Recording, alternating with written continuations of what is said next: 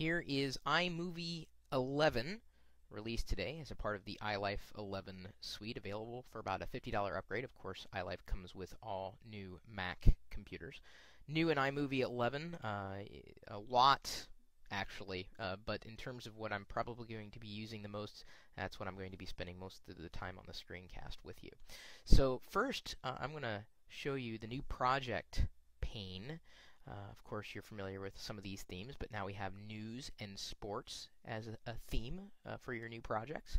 And then movie trailers. Now, I'm not actually going to get into uh, the movie trailers uh, part because I don't have a lot of footage uh, that I have on hand uh, to share. I may assemble something as an iMovie demonstration at some point in the near future of, you know, a movie trailer theme. Uh, of course, you're likely already familiar with how simple it is to use iMovie in general.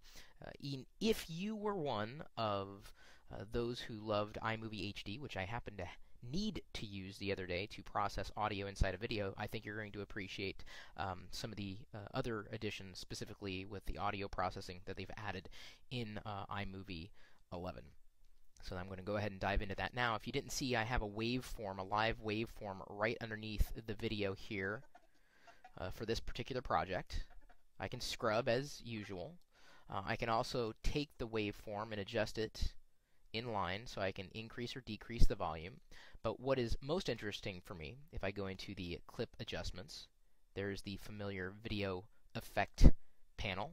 You've seen this before, and of course, uh, shows you live in real time uh, the changes. Same with audio now.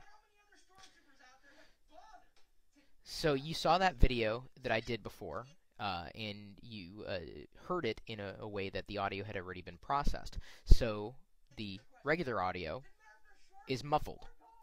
I could muffle it further, change it to robot, cosmic, echo, telephone, shortwave radio, multitone, etc., etc. Uh, you could change the pitch down, pitch it up,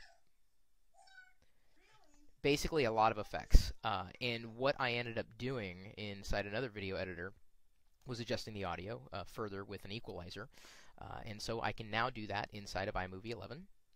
Going to go ahead and boost the treble, take down uh, the bass tones, and theoretically, if I'm playing it by hitting space, I can hear the change in real time.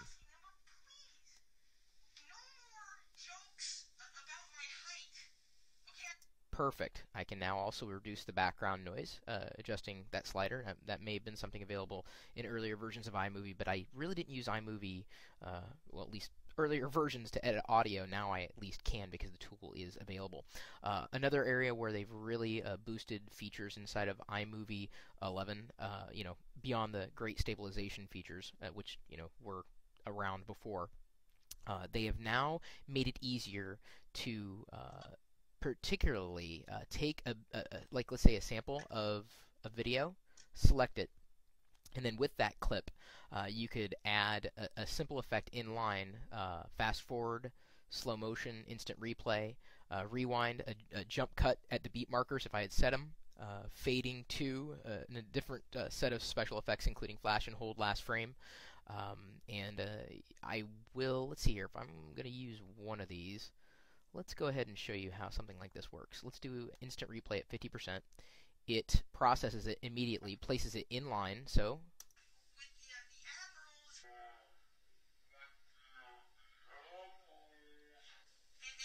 So what it did there was it automatically inserted the instant replay. Then, of course, it, it also had a, a little logo here uh, uh, in the uh, upper right-hand corner, uh, which is kind of nice. Now, if you happen to like uh, the classic view uh, where you're able to scroll horizontally with your video's timeline, you can do that just as well. Uh, one iMovie tip that uh, many of us have uh, shared with you in the past, uh, when you open up the preferences, make sure you're showing the advanced tools, uh, allowing for keyword controls, toolbar cutaways, picture-in-picture green screen, etc., etc. those are good features to toggle at any point that you're caring to edit. you can toggle the waveform by simply pressing that icon. And of course, you know you can zoom in or out on the uh, timeline uh, by uh, moving that slider. Of course, you could add audio, photos, text, your transitions, and then of course all your maps, backgrounds, and animatics uh, if you wanted to. Uh, it's all available right here.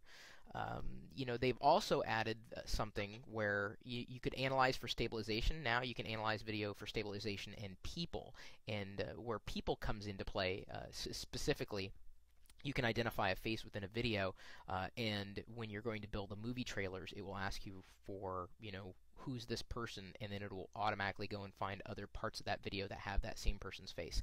Uh, you could also mark the camera pans if uh, that happens to be something that's inside the uh, clip uh, in your event library, which is kind of nice. Uh, all the other things that you've likely seen before, there's the information again. you can go in and crop you can edit your Ken Burns effects. You can fit a particular video. You've got the narration or voiceover component that still exists. Uh, there's the keyword tool. Uh, you can auto apply. There's the inspector. Yada yada yada. I really don't use iMovie to manage uh, video editing libraries. It's usually just for one-off things, like I need to edit audio for any kind of uh, Stormtrooper video that I do. And the easiest way to do it now is within iMovie 11. So I was very happy uh, to see that particular feature added. Uh, so quick easy one-click applying effects for audio and video, uh, like automatic effects like slow motion, instant replay, uh, people finder.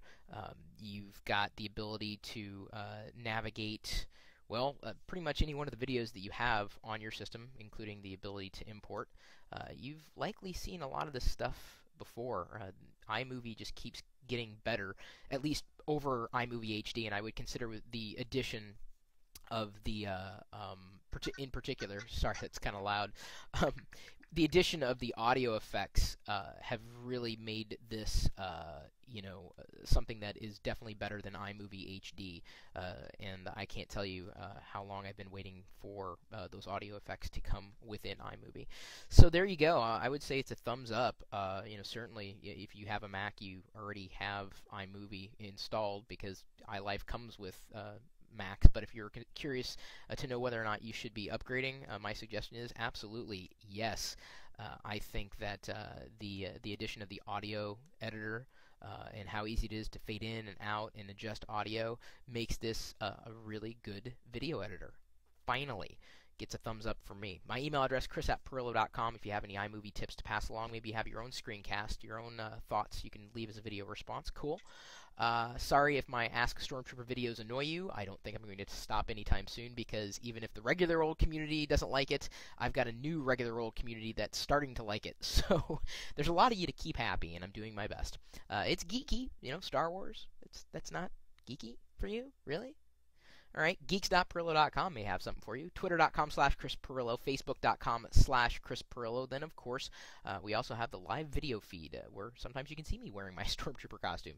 And uh, we're geeking out 24 hours a day, 7 days a week at live.pirillo.com. We'll see you later.